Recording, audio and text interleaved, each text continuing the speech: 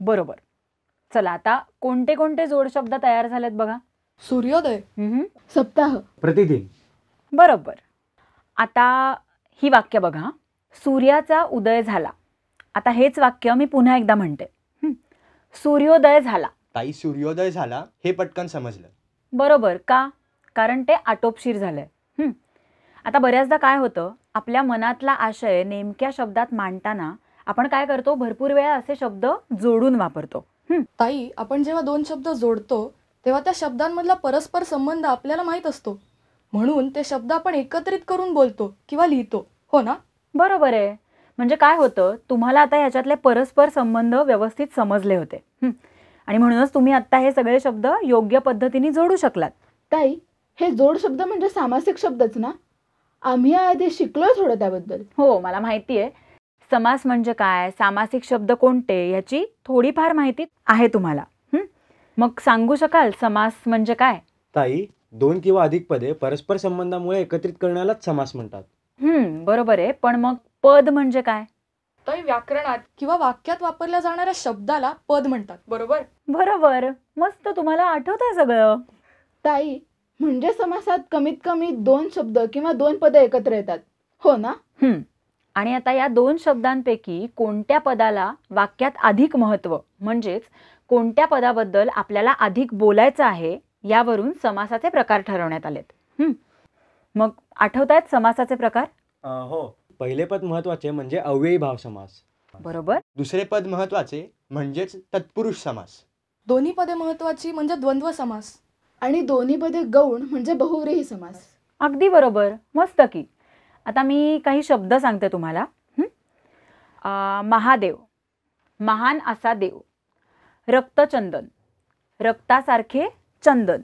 विद्याधन. विद्या हेच धन. आणि लाल भडक. ह्याच्यात दोन्ही पदविशेषण. ही कोणत्या समासाची उदाहरणं वाटत आहेत कुठलं पद महत्त्वाचं वाटतंय? काही कळतंय? आहे महादेव म्हणजेच महान असा देव. ताई यात दुसरे पद महत्त्वाचे आहे. रक्तचंदन रक्तासारखे चंदन. ताई इथेही दुसरे पदच महत्त्वाचे. ताई तिसऱ्या शब्दात पहिले पद म्हणजे विद्या महत्वाचं. आ, बघा आता परत एकदा. या शब्दात आपण विद्येबद्दल बोलतोय का धनाबद्दल बोलतोय?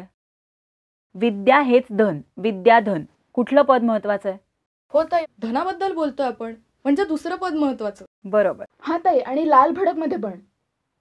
आता हेच सगळे शब्द पुन्हा एकदा नीट बघा हं. महादेव रक्तचंदन विद्याधन आणि लाल भडक. इथे दोन्ही पदं एकाच विभक्तीत म्हणजे प्रथमा विभक्तीत आहेत. हं, लक्षात घ्या. ज्या तत्पुरुष समासातील दोन्ही पदं एकाच विभक्तीत सामान्यतः प्रथमा विभक्तीत असतात तेव्हा त्याला कर्मधारय समास असं म्हणतात. महादेव या शब्दामध्ये पहिलं पद विशेषण आहे. रक्तचंदनमध्ये पण. बरोबर. ताई विद्याधनमध्ये दोन्ही पद एकरूप आहेत. हम्म. आणि लाल भडकमध्ये दोन्ही पदं विशेषण आहेत. समजलंय की तुम्हाला? कर्मधारय समासात हे प्रकार येऊ शकतात. हं. पण परत एकदा एक मात्र लक्षात ठेवायचं की ज्या तत्पुरुष समासामध्ये दोन्ही पदं एकाच विभक्तीत सामान्यतः प्रथमा विभक्तीत असतात तेव्हा त्याला काय म्हणतात? कर्मधारय समास. तर आता यामध्ये दोन्ही पदातील संबंध विशेषण विशेष्य स्वरूपाचा म्हणजेच महादेव किंवा उपमान उपमेय अशा स्वरूपाचा असतो. हेही लक्षात घ्या. आता माझ्याकडे इथे ना या पुस्तकात काही वाक्य आहेत हं. ही वाचा बरं. अं, दोन ऑक्टोबरपासून सेवा सप्ताह सुरू. उम्हम. नवरात्रात भोर येथील ग्रामदेवतेचा उत्सव असतो. गदिमांच्या घराचं नाव पंचवटी. बरोबर. आता तू ह्याच्यातली अधोरेखित केलेले शब्द वाच. सप्ताह नवरात्र पंचवटी. बरोबर. आता या शब्दांचा विग्रह कसा कराल? अं, सप्ताह म्हणजे सात दिवसांचा समूह. नवरात्र नवरात्रींचा समूह. हं, आणि पंचवटी म्हणजे पाच वडांचा समूह. बरोबर. या विग्रहावरून काय काय लक्षात येतं तुमच्या? या प्रत्येक सामासिक शब्दातील दुसरे पद महत्त्वाचे आहे आणि या पदांचा परस्पर संबंध विशेषण विशेष्य असाच आहे. अरे म्हणजे हा कर्मधारय समासाचाच प्रकार आहे की? बरोबर. आणि काय लक्षात येतंय? ताई या सामासिक शब्दातील पहिली पदं संख्या विशेषण आहेत. आणि या शब्दातून एक समूह सूचित होतोय. बरोबर. म्हणजेच काय? तर ज्या कर्मधारय समासातील पहिले पद संख्या विशेषण असते आणि त्या सामासिक शब्दावरून एका समुच्चयाचा अर्थ दर्शवला जातो त्याला द्विगु समास असं म्हणतात. हं. आणखी एक गोष्ट लक्षात घ्यायची ती म्हणजे हा समास एकवचनात असतो. ह्याची उदाहरणं सांगता येतील? त्रिभुवन. चौघडी बरोबर. पंचारती. बरोबर. सारांश. एक दोन किंवा अधिक पदे परस्पर संबंधांमुळे एकत्रित करण्याला समास म्हणतात. दोन सामासिक शब्दात पहिले पद जेव्हा महत्त्वाचे असते तेव्हा अव्ययी भाव समास होतो. दुसरे पद जेव्हा महत्त्वाचे असते तेव्हा तत्पुरुष समास होतो. दोन्ही पदे जेव्हा महत्त्वाची असतात तेव्हा द्वंद्व समास होतो आणि जेव्हा दोन्ही पदे गौण असतात तेव्हा बहुव्रीही समास होतो. तीन ज्या तत्पुरुष समासातील दोन्ही पदे एकाच विभक्तीत सामान्यतः प्रथमा विभक्तीत असतात तेव्हा त्याला कर्मधारय समास असं म्हणतात.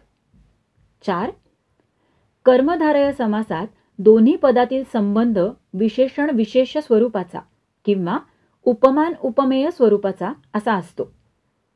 पाच. ज्या कर्मधारय समासातील पहिले पद संख्या विशेषण असते व ज्या सामासिक शब्दावरून एका समुच्चयाचा बोध दर्शवला जातो तेव्हा त्याला द्विगु समास असं म्हणतात. कृती. एक. खाली काही समासांचे विग्रह दिले आहेत. त्यावरून मूळ सामासिक शब्द आणि समासाचा प्रकार कोणता ते लिहा. एक तीन भुवनांचा समूह. दोन कमळासारखे नयन. तीन काव्यरूपी अमृत. चार चार मासांचा समूह. दोन तक्ता तयार करा. सामासिक शब्द विग्रह समासाचे नाव.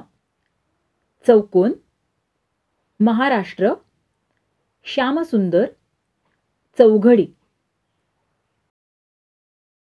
कर्मधारय व द्विगु या सामासिक शब्दांची प्रत्येकी पाच उदाहरणे शोधा व या सामासिक शब्दांचा उपयोग करून एक अर्थपूर्ण परिच्छेद लिहा.